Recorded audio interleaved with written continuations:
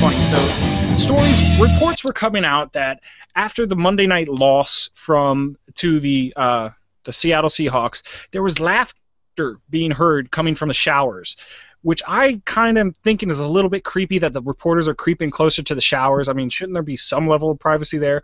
Hasn't that Um, been going on for a while though?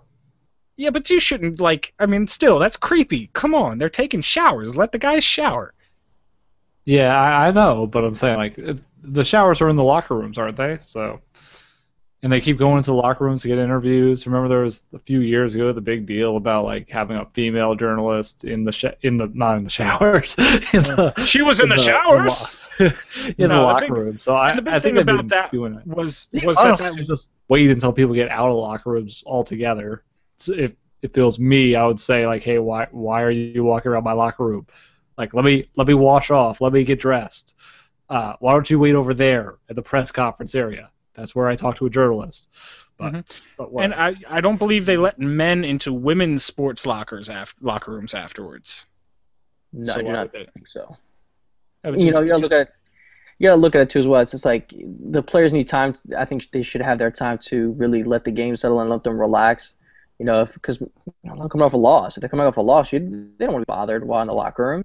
They want to be able to sit there and just you know consult with their teammates and just you know get their get their uh, you know their mind together and then you know figure out what to say because you never know.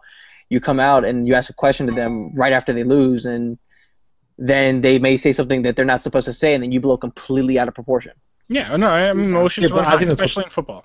I think that's what a lot of journalists are going for, though. To be honest, they like are. that that's why they do it at that point. Well, and they want to just get the story as soon as possible because everyone wants the story immediately. But Especially but I think nowadays, there's that's something you should should give the guys a few minutes. You know. There's got to be, there should be a, a a rule though that, that the NFL needs to make that Yeah.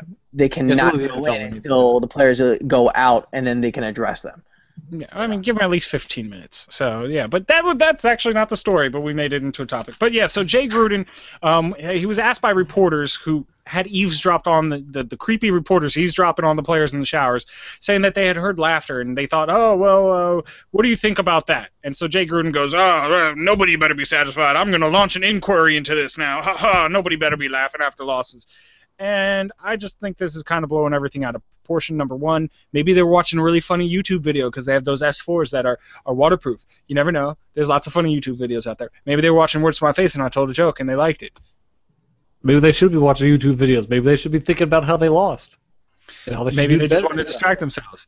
I just, I just think it's, I think it's being blown a little bit out of proportion. Um, and and now I'm not hating on Jay Gruden. I think he was kind of baited into this. But an inquiry on laughing in the showers after a loss, I don't know, Lucas. What do you think?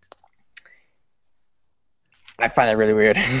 Yeah. I just find that I just I'm like, okay, you see you heard laughing in the showers, and you know, I, I don't see. First off, if a player's laughing in the shower, I don't see that much of a big deal. First off, you know, when you're coming off a loss, yeah, you want to have that. Oh, we lost. There's no fun in games, but people deal with things certain different ways. And if you're losing, you know, you want to be able to leave with a positive mindset, you know, and that's you know having a crack on a joke in the shower with somebody.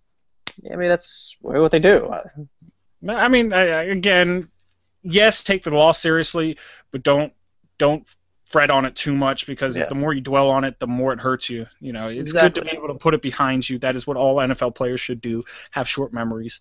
Um, so yeah, it's kind of silly. But hit us up with, let us know what you think. Maybe maybe you know the joke that was told in the showers. Let us know in comments down below. I'd be very interested to see. That. Um,